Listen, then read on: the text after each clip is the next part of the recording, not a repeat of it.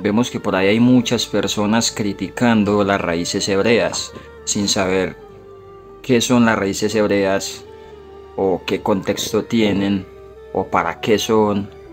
Y dicen que las raíces hebreas es una religión o una secta. Dicen que es un cáncer. Dicen que es algo que está mal. Y voy a tratar de demostrar de que no está mal con unos simples dibujitos sencillos, dibujitos de niño de preescolar, para ver si de pronto así entienden lo que son las raíces hebreas, ¿ok? Es muy bueno hacer dibujitos de niño de preescolar para que las personas entiendan más.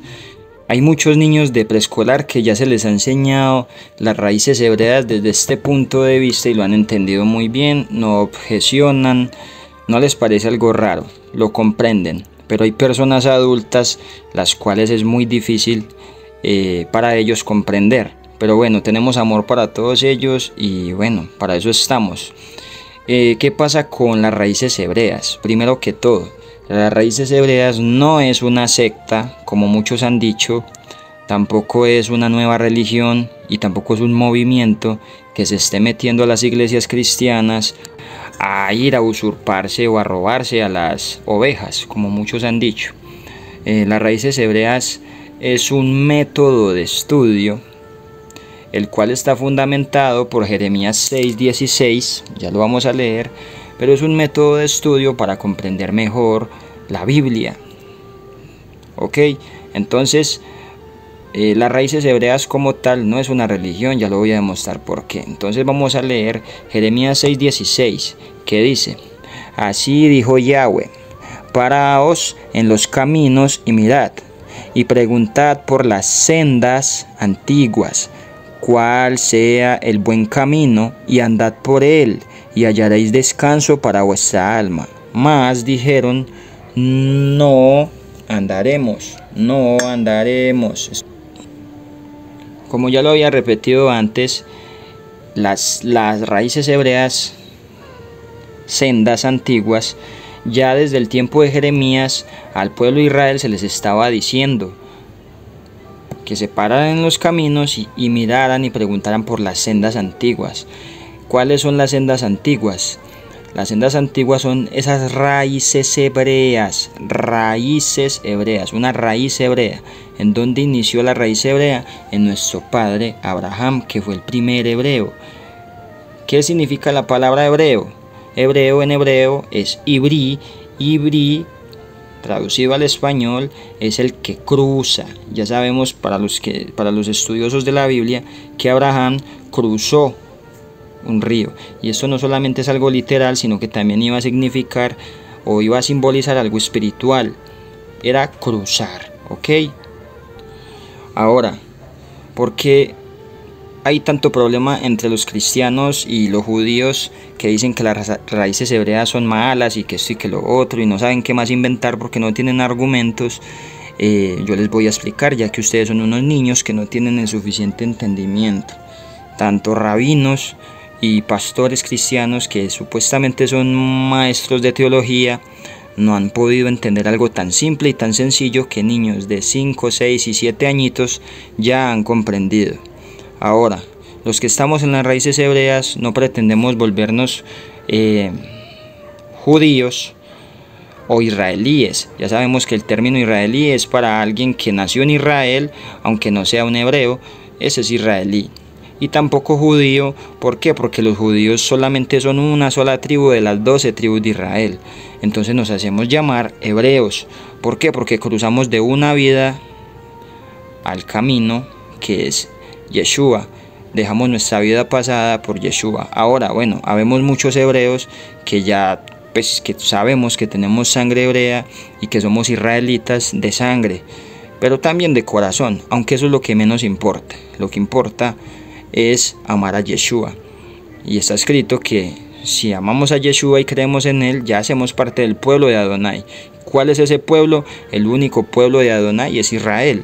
Entonces cualquier persona que estudie la Biblia, que ame a Yeshua, hace parte de Israel.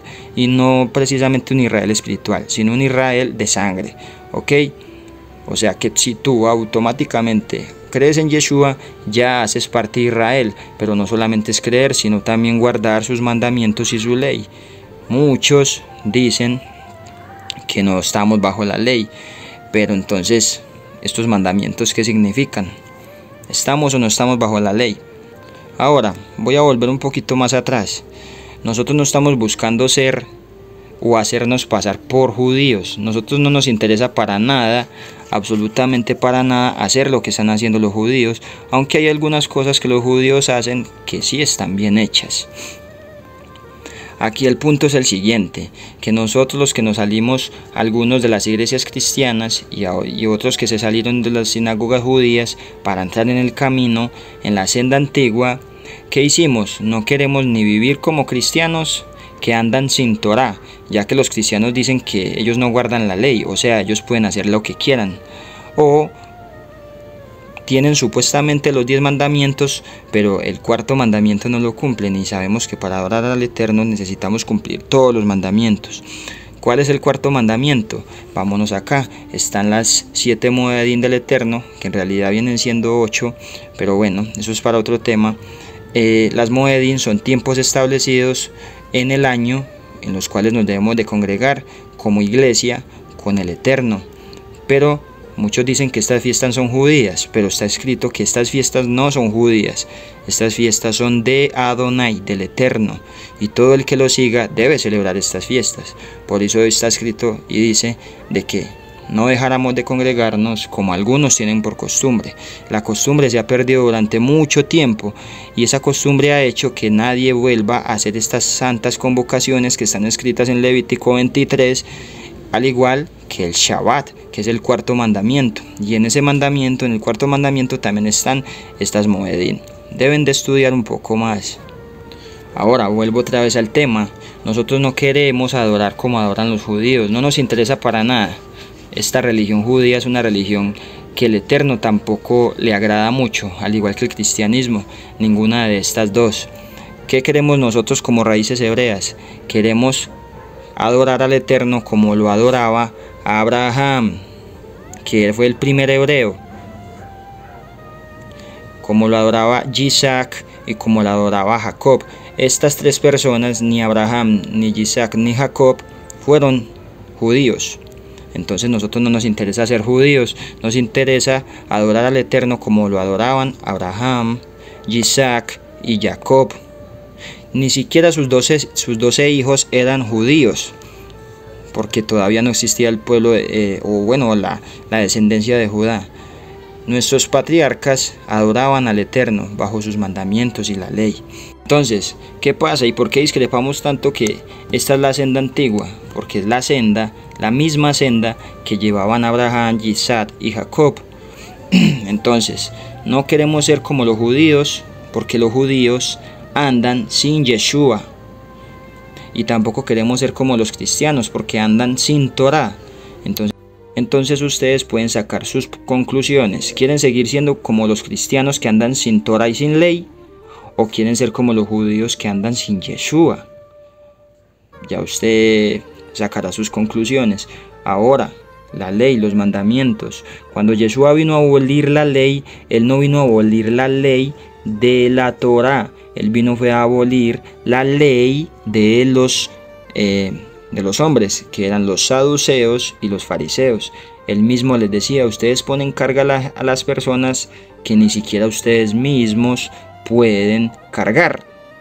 Entonces, Creo que ya me van entendiendo. No vino a abolir su propia ley, porque él mismo dijo, yo no vine a abolir la ley, yo vine fue a cumplirla. Pero en ningún lado está escrito que haya dicho, no, él cumplió la ley por nosotros y ya ahora nosotros no la tenemos que cumplir. Eso no está escrito en ningún lado. Pero bueno, con mucho cariño y con mucho amor, vuelvo y le repito, no nos interesa para nada ir como van los judíos que están sin Yeshua y tampoco nos interesa ir como los cristianos que están sin Torah. Queremos ir por la senda antigua, por esta senda que llevaban nuestros padres Abraham, Yitzhak y Jacob y también sus doce hijos de las doce tribus de Israel. Los judíos no son sino una sola tribu. Además, ellos ni siquiera tienen la primogenitura de Israel. La primogenitura la tiene Joseph. y Joseph y de Joseph fue dada a Efraín, a los cuales se les prometió grandes multitudes. Ahora, vuelvo y repito, Jeremías 6:16, así dijo Yahweh, paraos en los caminos, párense en los caminos y miren, y mirad, y preguntar por las sendas antiguas. Cuando te paras en el camino preguntas cuál es la senda que llevaban los patriarcas, cómo adoraban nuestros antepasados al Eterno. Entonces ya usted se está haciendo esa pregunta. Pregunten por la senda antigua, cómo adoraba Abraham, Yitzhak y Jacob. ¿Cuál sea el buen camino? ¿Cuál es el buen camino? ¿Andar como los judíos sin Yeshua o andar como los cristianos sin Torah? ¿Ese es el buen camino? Yo no lo creo. Entonces dice acá, y andad por él. O sea que cuando ya encontramos el buen camino, porque ya no queremos el de los cristianos que van sin Torah y tampoco queremos el de los judíos que van sin Yeshua, entonces nos vamos a ir por la senda, por el buen camino y andamos por él. ¿Y qué dice acá? Y hallaremos descanso para vuestra, para nuestra alma. Los, los que vamos por esta senda decimos que sí, pero los que dijeron no andaremos, ¿quiénes son? Los cristianos que andan sin Torah y los judíos que andan sin Yeshua. ¿Qué es peor? ¿Andar sin Torah o andar sin Yeshua? Si andas sin Yeshua, andas sin Torah. Y si andas sin Torah, andas sin Yeshua. Entonces las religiones no son el camino. El camino es Yeshua. Yeshua, que fue el mismo que se le apareció como Melquisedec o Malquisedec. ¿Y qué le dijo a Abraham? Que cruzara. Entonces ustedes, ¿por qué no quieren obedecer a Yeshua? Los mandamientos no son difíciles de cumplir, son fáciles, son solo 10. Bueno, hay, hay muchas cosas guardadas en ellos, pero no son gravosos y no son difíciles de cumplir. Simple y sencillamente es adorar como Abraham, Yitzhak y Jacob. Y Jacob. Entonces, si ustedes quieren agradar al Eterno, agrádenlo como estas tres personas lo agradaron y vayan por la senda antigua. ¿Qué es la senda antigua? Sendas antiguas, raíces hebreas.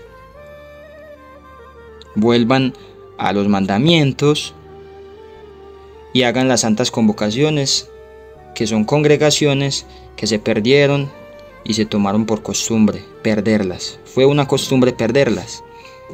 No dejad de congregados como algunos tienen por costumbre.